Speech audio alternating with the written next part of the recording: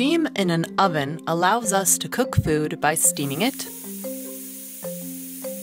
or to carry out combined cooking processes using a mixture of steam and dry air, or to use steam in the first cooking step to speed up the cooking process. Steam heats a cold surface seven times more quickly than air. We all can understand this concept since we know that we cannot hold our hand over a pan of boiling water.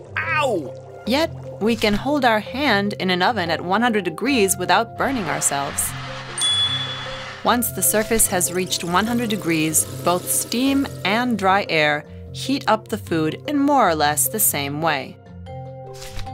The Unox ovens with Steam Maxi technology input steam into the cooking chamber through the fans. And they use the heat generated by the heating elements or heat exchangers to keep it at the right temperature.